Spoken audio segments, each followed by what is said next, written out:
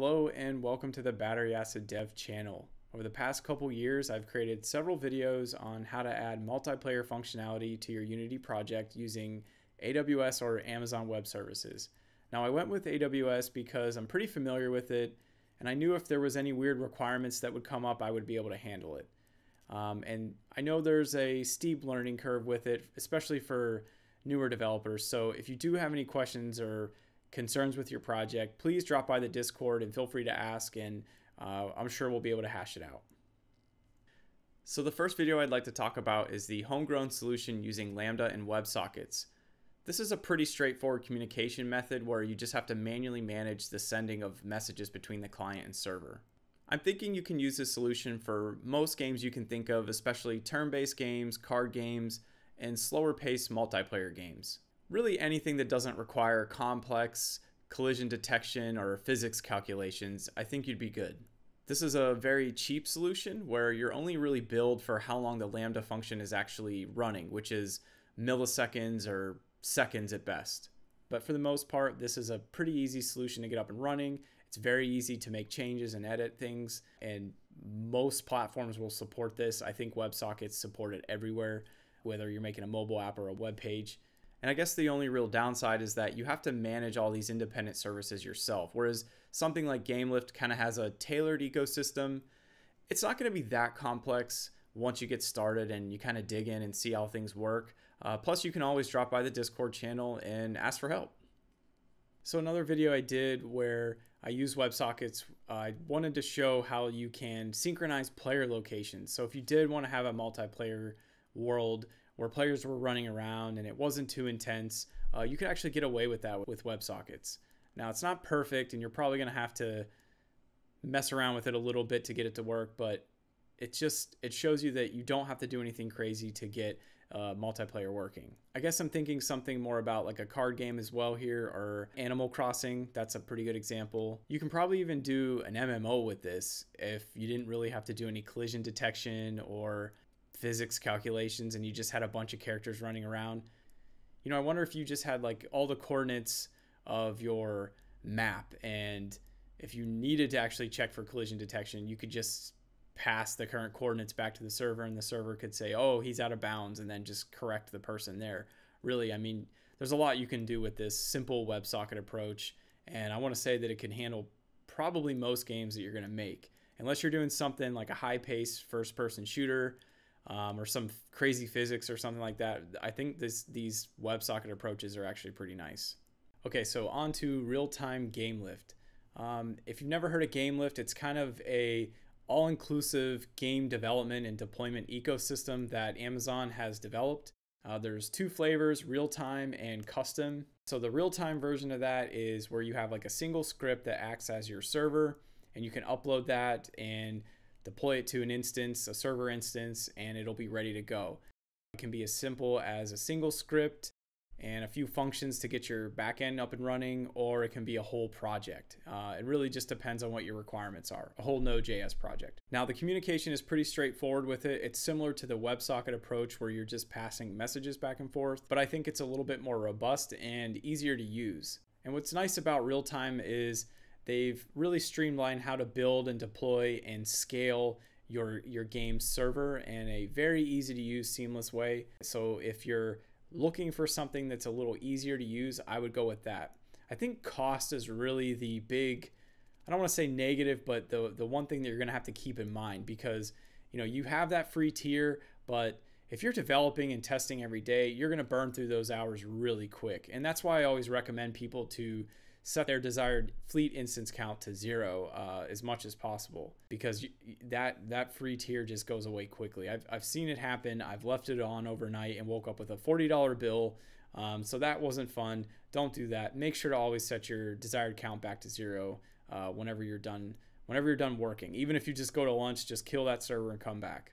I really think that cost is the biggest issue. I, I would probably just use the Lambda and WebSocket approach just because I know how to use this stuff um, because it's so much cheaper to use. Now, if you don't really care about that, maybe you've got some funding and you just want to have that really nice ecosystem to deploy your game to, then real time GameLift is the easiest way to get into that. I've got a brand new video on that that came out this year, so check that out.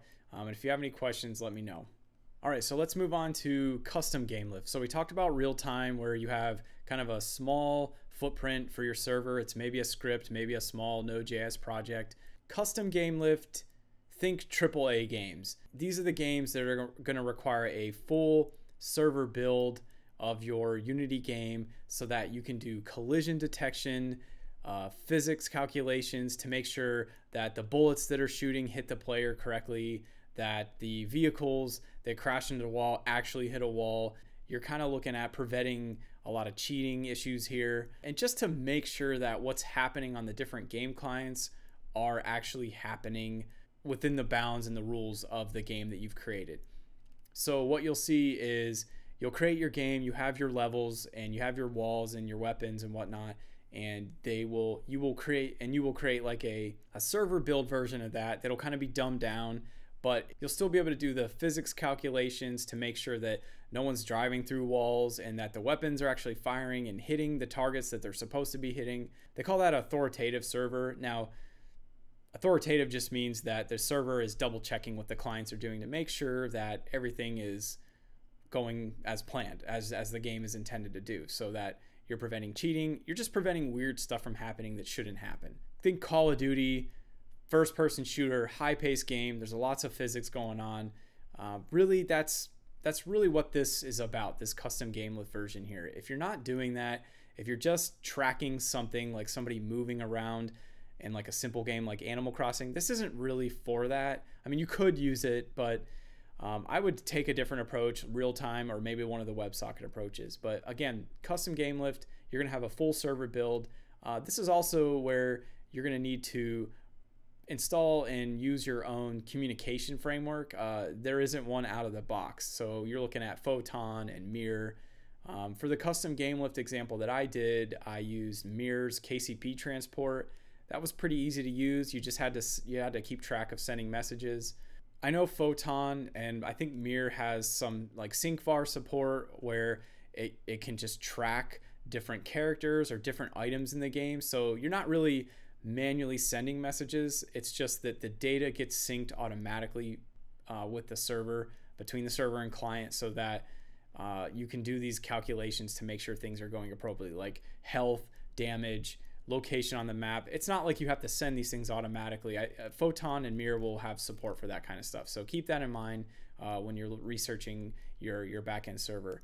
So again, unless you need some kind of physics collision detection um, and you're really doing these heavy, fast paced calculations of constant moving for characters, I don't really think you need custom GameLift. I'm sure there's a couple other scenarios I'm missing right now, but uh, for the most part, this is like your AAA game, your fast paced game.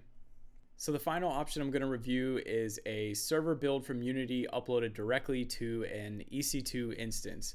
This is where you can do a Unity server build and upload it to an EC2 instance to just play around with it or just to have as your backend server. Maybe you don't like GameLift. Maybe you want to manage all the auto scaling and all the security and all the things involved with getting your game up and running.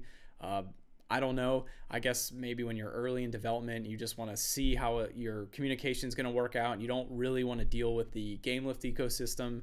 I think this is a good approach. You can really have like an intimate knowledge of what's going on on your server um, you can even use smaller instances. Uh, that could be a lot cheaper than initially running like those heavy GameLift larges that they have, uh, which are the smallest for GameLift. But there are like really small instances that you can probably run your backend server on.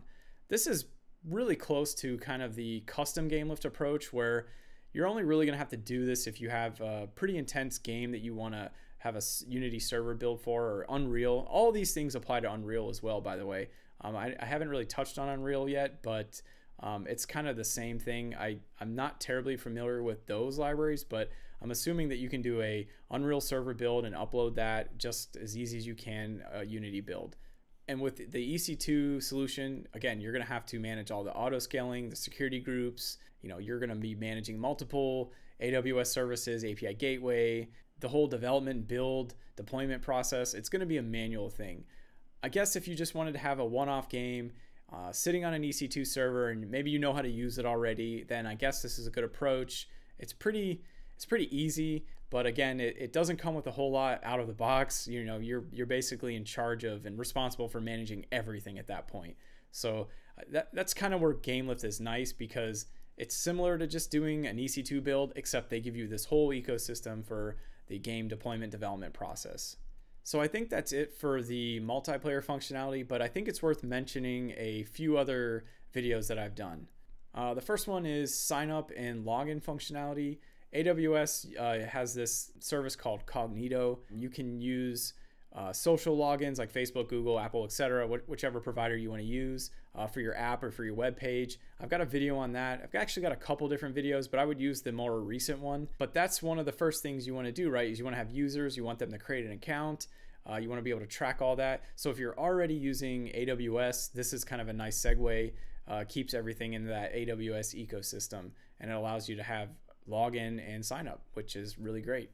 There's another video I did on how to schedule second level precision Lambda functions. So what does that mean? Uh, let's say your game has like building things that take time, like you're building a barracks or you're waiting for an upgrade to complete. That might take four hours. It might take 48 hours, who knows? Well, since that's kind of a common thing for a lot of these games, I created a demo video on how you can schedule Lambda functions to execute at a given time in the future.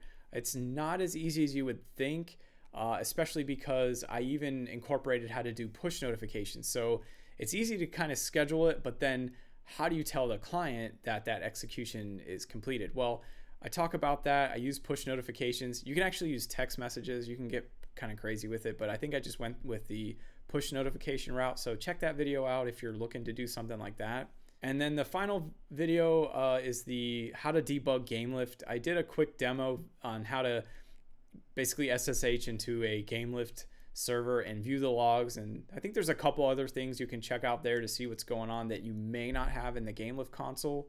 Uh, so if you're really stuck and you need to just see what's going on on the server and check out those logs in real time, you can actually do that. And again, it, it's actually a pretty important point that you can view the logs in real time if you like. You don't have to wait for that down download button to appear in the uh, GameLift console on your game session. So if you're a subscriber, you've probably noticed that I haven't really made any videos in the last few months. Uh, it's because I'm kind of taking a break to build a platform for people who want to create games, whether you're a game developer, just trying to get started. Maybe you're an artist or a level designer, story guy. I don't know what, whatever, whatever's involved. Um, I'm making a platform for that, so stay tuned there. Other than that, I do plan on getting back into making videos soon. I'm excited to check out the Unreal Engine. I'm probably going to start there next uh, and dive in and just see how that goes and maybe do kind of the same thing there like how do you make multiplayer games there? Or maybe i'll check out some other functionalities. Please let me know what you'd like to see and uh, if there's enough interest yeah i'll make a video on it. So let me know in the comments or drop by the discord channel. And if you're interested in this kind of topic make sure to subscribe. Well thanks for watching